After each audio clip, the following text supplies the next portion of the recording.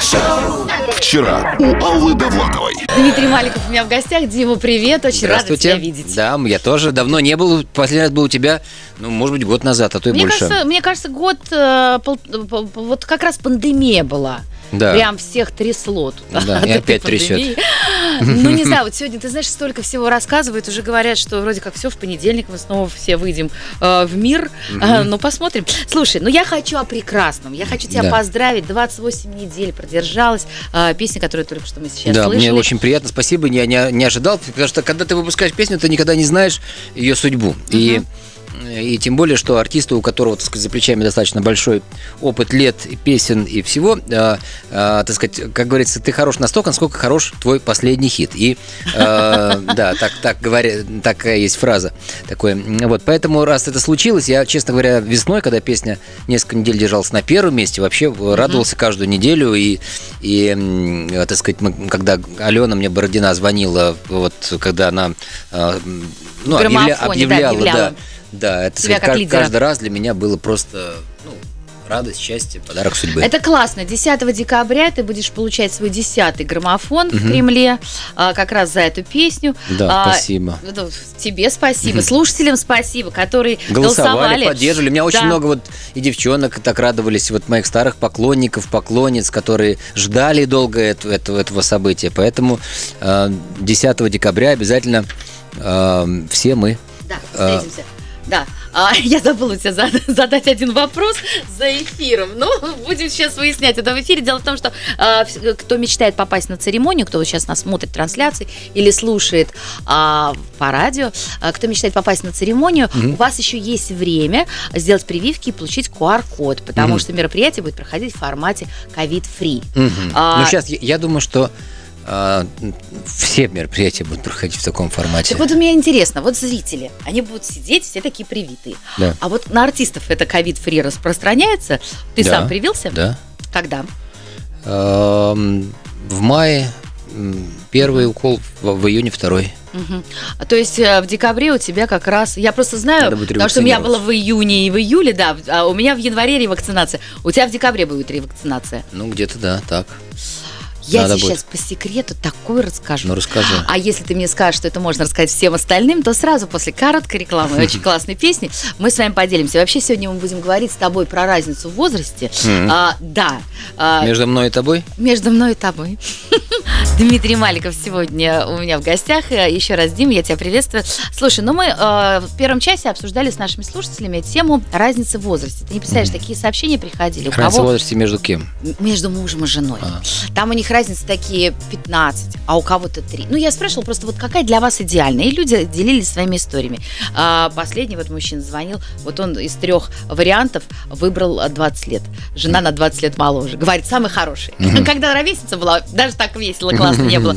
Слушай, ну мне нравится, как ты шутишь про возраст. Вот, например, я у тебя а, нашла в Инстаграм, пробил возрастной э, ценз. Вчера в Питере выступал на 85-летии одной женщины. Женщины. Личный рекорд. Она сказала, что тоже выросла на моих песнях. Ну да. А скажи мне, а самый э, молодой э, вот э, возрастной э, ценз э, годик. того, где ты Годик. годик. Да. Да, это хорошо. Кстати, между прочим, у тебя э, на твоей рекламе э, очень классную шутку я нашла. Ты написал так: был на выпускном твоей мамы, мамки, буду и на твоем. Ты сам это придумал? Ну да, слушай, да. Потому что уже несколько поколений. Это жизнь придумала. Это не то, что нравится мое творчество мамам и некоторым Уже девушкам, детям. девушкам, да, детям. Да. Слушай, вот мы со слушателями сегодня обсудили эту разницу в возрасте. У тебя с Леной 7 лет. А Ну, с женой? немножко. Ну, около того, да, окей, хорошо, там я месяца не высчитывала. А, скажи мне, когда-то это а, вылезало в, в каких-то отношениях? Когда-то вот ты чувствовал эту разницу? Да нет, слушай, мы так давно уже вместе, что срослись просто это с 92 года. У нас в следующем году будет 30 лет совместной нашей жизни. да, и счастливой. вообще у тебя идеальный брак, мне так кажется. да, По крайней мере, так да, всем да, нам. поэтому разница в возрасте не имеет значения, а имеет значение чувства, эмоции и а, вза- взаимопонимание и взаимопроникновение, как бы вот, э, чтобы, чтобы было хорошо, комфортно друг с другом. Вот это важно. Это всегда важно. И э, наши слушатели, кстати, они такие же мудрые. Они тоже самое мне писали. Прекрасные «Алочка, у нас да, слушатели. Здесь главное, самые лучшие. Благодаря им э, Дмитрий Маликов в этом году получает Золотой десятый. граммофон. Да, золотой граммофон. А, и, конечно, это будет очень, а, наверное, грандиозное событие. Я Мы надеюсь, да. Нет, я, я тоже очень этого жду, как я уже сказал. Для меня большое событие. Одно из самых важных итогов э, уходящего года непростого.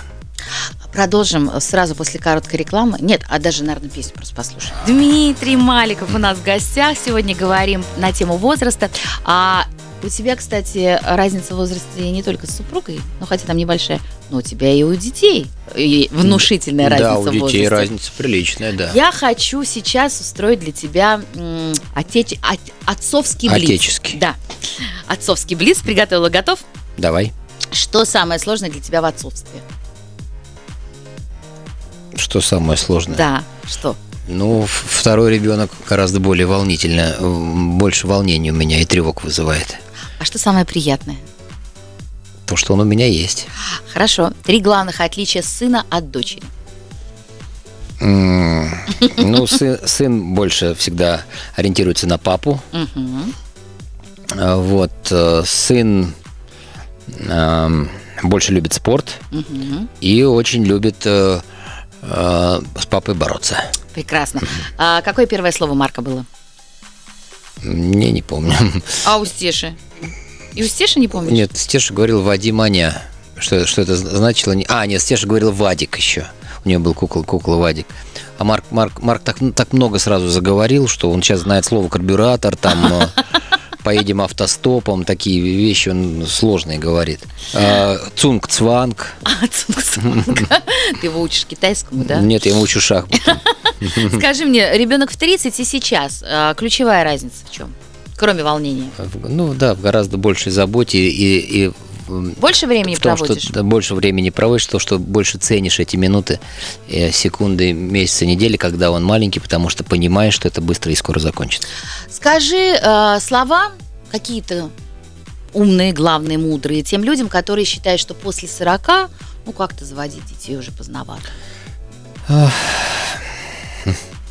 Любить и рожать детей никогда не поздно. Вот. Нет, на самом деле э, вы себе даже не представляете, нас- насколько это большое счастье. И если вы себе искусственно этого лишаете, то зачем же лиш- лишать себя быть счастливым? А Вот. э, Просто нужно быть здоровым, нужно заботиться, нужно иметь, конечно же, возможности, в том числе материальные, потому что дети это не, это не автоматический вопрос с точки зрения ну, расходной части просто. Поэтому нужно просто иметь ответственность. А если ты имеешь ответственность, то в любом возрасте можно э, детей рожать и быть счастливым. Классно. И нужно быть здоровым, да. Здоровый образ жизни э, э, э, к этому способствует. А сейчас мы поиграем. Хочешь поиграть? В кошки-мышки? Нет. Или, или в тише едешь, дальше будешь, как в игре кальмаров. Нет, я тебе хочу предложить несколько цитат про возраст, а, чтобы ты продолжил их на свой вкус. Ну, ты наверняка многие из них знаешь, поэтому вот просто на свой вкус ты очень мудрый человек, и мне кажется, это будет очень классно. Ну давай. А, каждая женщина имеет тот Имеет возраст, право налево. тот возраст. Каждая женщина имеет тот возраст. И дальше На который выглядит. прекрасно. Отлично. Коко Шанель сказала, который заслуживает. Но мне твоя версия нравится больше.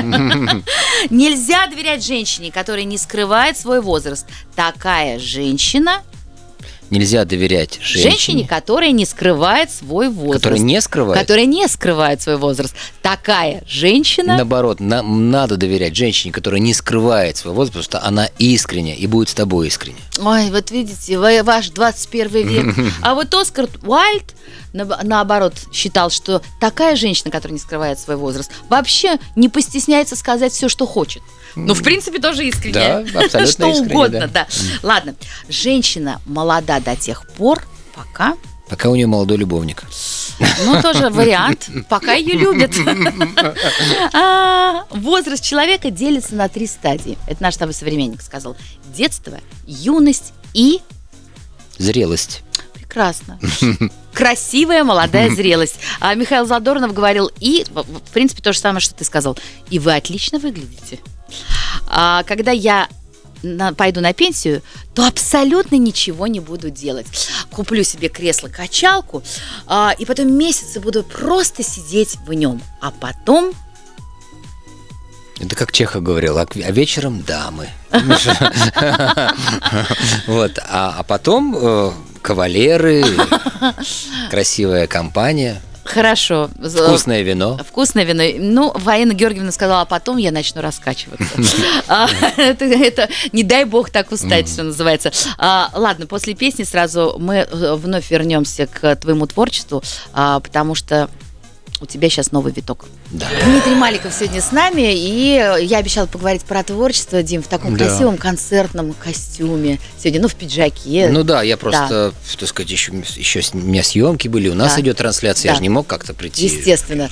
А, ну и вообще, про концерты хочется поговорить. Я помню, мы с тобой много лет назад, а, вот первый раз, когда ты делал свою пианоманию, а, мы это обсуждали. Вот за эти годы, скажи мне, а, развиваешь ты это направление Обязательно, классической конечно, конечно, развиваю. И э, сейчас буквально на концерте, который у меня состоится 26 ноября в Доме музыки, я представлю свой новый альбом, который называется «Парад планет». Э, я записал новую пластинку с симфоническим оркестром. Все очень красиво. Это космическая музыка с космическим содержанием, смыслом и э, с космическим размахом. Вот э, приходите 26 ноября в Дом музыки. Э, Я целое первое отделение буду играть только вот новую свою музыку. Классно. А второе отделение, что будет? А второе отделение буду играть свои известные уже инструментальные песни, пьесы э, и э, ряд, так сказать, обработок своих, свое прочтение Чайковского и Рахманинова и Брамса, и обязательно что-то спою. Круто. Ну а скажи мне, вот эту пьяноманию, вот как часто вообще ты этот концерт даешь? э, Но я стараюсь давать его как минимум раз в год, Мгм. а, а когда не было у нас пандемии, два раза в год давал.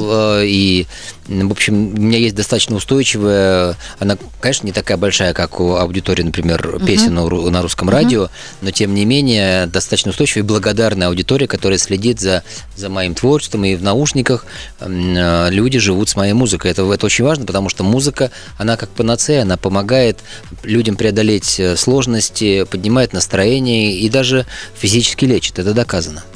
Это, это, это очень доказано. Я с, с тобой абсолютно Да, согласна. поэтому Хорошая- слушайте мою инструментальную Да. музыку, и вы будете Здоровы. здоровы. Да, это гениально. А, на этой ноте, конечно, э, хочется сразу уйти на рекламу, но я не хочу сразу это делать, потому что я хочу тебя поздравить. У тебя сейчас сразу выходит, помимо вот этого альбома, еще Да. второй альбом. Да, выходит песенный альбом. Да. Да, песенный альбом, он не такой большой, там всего 8 песен. А сейчас это модный да, формат. Да, да, из этих восьми песен а, несколько песен уже известно, в частности «Мир без твоей любви». А, Там я сделал э, ремейк своей старой песни «Если я останусь один», А, так сказать, э, «Последний романтик», который у меня тоже уже песня отзвучала. Но тем не менее там будет 4-5 новых совершенно песен, и я надеюсь, что какая-то из них обязательно в следующем году зазвучит на русском радио и также будет бороться за золотой граммофон. Ну что, в следующем, давай уж к Новому году подарок. Постар- Постараюсь. Да, сделай нашим слушателям. А, ну а теперь сразу после короткой рекламы а, мы поговорим о твоем новом трибьюте. Послушай сейчас песню Артура Пирожкова. Да, да, да. э, Кстати, Из а- трибьют альбома «Я тебя знаю», Да, твоего. Да, ты знаешь, это очень тоже отдельный проект, который в этом году у меня получился симпатичным. Я, я очень благодарен всем артистам, которые с радостью э, взяли какие-то мои песни, старые в основном, э, и перепели, сделали их по-своему, и, и мы выступили, так сказать, э, все, у меня был, так сказать, целый, целый день на фестивале на летнем, и э, как-то так получилось, что мне захотелось это как-то увековечить, и я у всех попросил разрешения, можно я это дело вот выпущу на альбоме, соб- собрал эти песни, все разрешили, и вышел такой трибют-альбом, вот, так сказать... э, 11 что-то- артистов приняло участие. Да, да, да, вот, кстати, мне очень отрадно, что песня «Брачный кортеж» в исполнении Дениса Клявера. У нас а, здесь да, в а- хорошей горячей Она ротации, звучит да. в хорошей а, ротации, и эм, мои поклонницы несколько ревностно, так сказать, так об этом даже мне сообщают. Я говорю, да, говорю, да чего вы это самое, радуетесь? Я...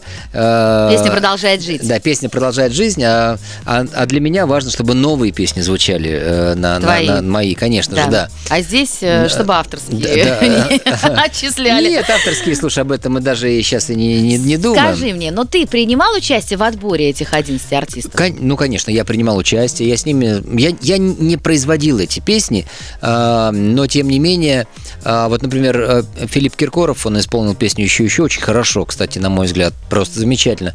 Он это, э, это вот к моему юбилейному концерту сделал, uh-huh. который был в день моего юбилея 50-летия. Артур Пирожков тоже. Потом э, некоторые ребята позже присоединились. Вот. Тот же Денис, там Нюша замечательно сделала песню э, «Мама лето». Просто в своей какой-то полуджаз-роковой атмосфере. Она, может быть, не, не совсем коммерчески получилась, но, но, но просто, ну, знаете, себя люди очень э, как бы проявляют, когда они делают вот такой, такой материал. Особенно, ну, когда там делаешь какому-то концерту, думаю, ну, как-то там бывает иногда левой ногой. Здесь нет. Здесь все. Брэндон Сторм, радио «Осень» сделал прекрасно тоже. А, то есть я очень доволен, я получил эстетическое удовольствие и подумал, что я все-таки неплохой композитор. Скажи мне, ну а кто-то исполнил вот прям лучше тебя? Ну, мне трудно сказать. Или все-таки как для кремлевской звезды? Да, да, нет, нет, нет, все исполнили очень хорошо и просто иначе. Поэтому... А лучше всех, кто тебе больше всего понравился? Неэтичный вопрос сейчас ты скажешь. Нет, нет, ну, на, ну Филипп здорово сделал. С точки зрения вот реакции аудитории, угу, да.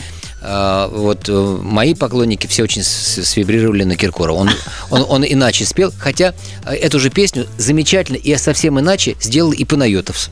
Угу. Тоже, тоже очень хорошо, еще, еще, вот глаза в глаза. Вот, так что, ну, приятно, черт возьми.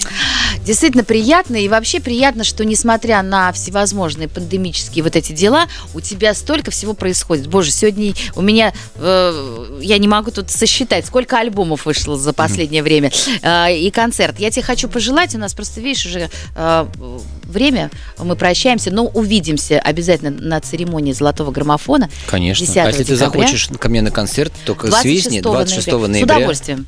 На пианоманию приду. Да, буду рад. Оркестр симфонический, э, рояль большой концертный. Я в, в смокинге и шампанское после гарантирую. И прививка у меня уже есть, поэтому меня пустят. а, спасибо большое, Дима. До скорой встречи на наших прекрасных музыкальных событиях. С радостью. Люблю русское радио. Всего вам доброго. А я с вами, друзья, прощаюсь до понедельника, потому что завтра праздник, а сегодня вас развлекает дальше Светлана Казаринова. Пока. Сегодня в 7 вечера не пропустите вечернее шоу Аллы Довлатовой. Adios.